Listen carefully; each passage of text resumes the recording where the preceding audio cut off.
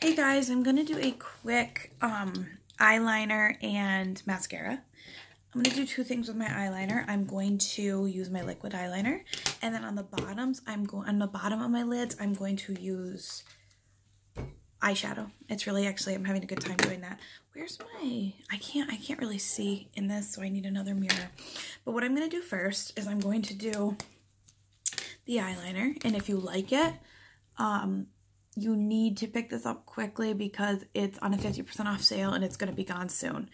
You can see how this does not come out like liquid eyeliner you probably have used in the past. See how nice it is.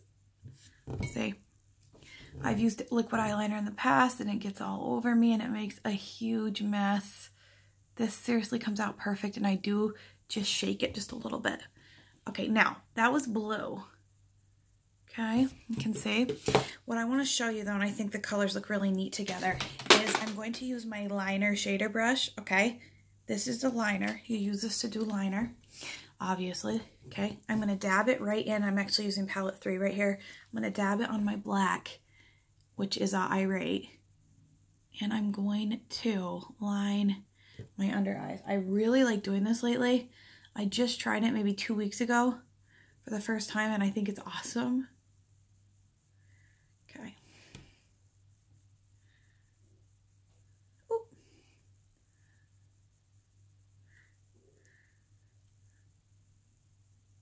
Okay, I think that looks really neat.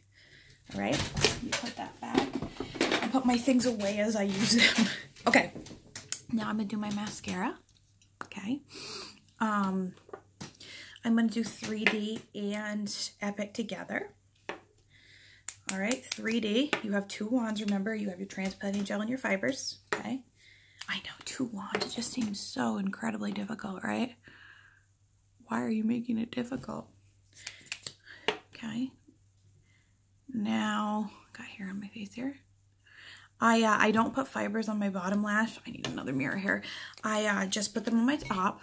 Right now I'm doing the gel though, okay? All right. Okay, fibers. I don't do them on the bottom because I just don't feel like I even need them on the bottom. I really don't. Okay. Transplanting gel again. And I don't need to put it on the bottom because I only did my fibers on the top.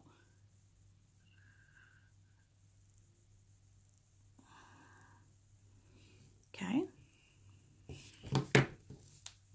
Now what I'm going to do is I'm going to go ahead and throw my Epic on above it. You can use one or the other.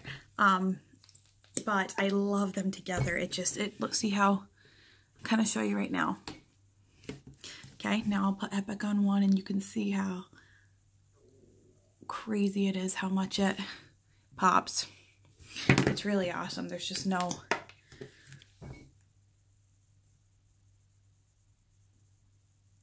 Okay. And that's that.